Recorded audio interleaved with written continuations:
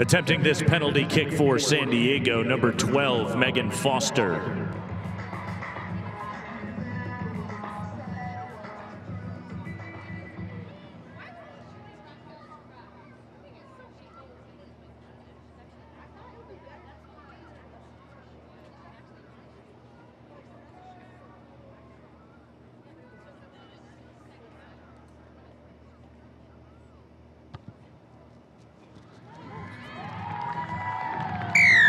Penalty kick good.